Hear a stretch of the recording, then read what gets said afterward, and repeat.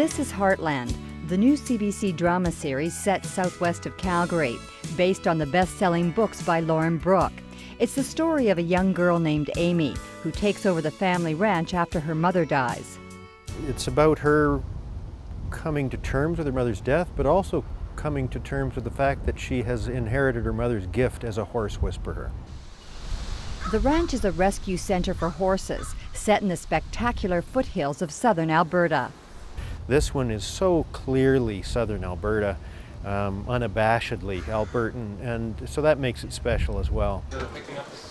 As well as the Alberta scenery, Heartland is about people and the choices they face.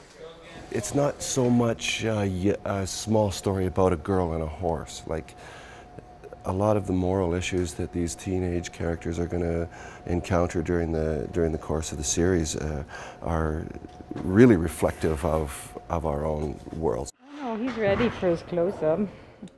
Amber Marshall plays Amy. I work at a veterinary clinic and I've also volunteered at a wildlife rehabilitation center for animals. So I've always filled my life with animals and this is just the perfect, perfect role for me. Heartland is also giving a much needed boost to Calgary's film industry. It means continuity of employment for crew and cast. It means that you can train new people, you can build the infrastructure. It is uh, an, an economic heartline.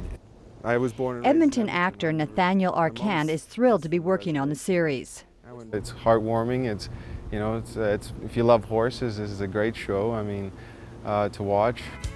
Heartland will premiere on CBC television Sunday, October 14th at 7 p.m. Lorna Sandberg, CBC News, Calgary.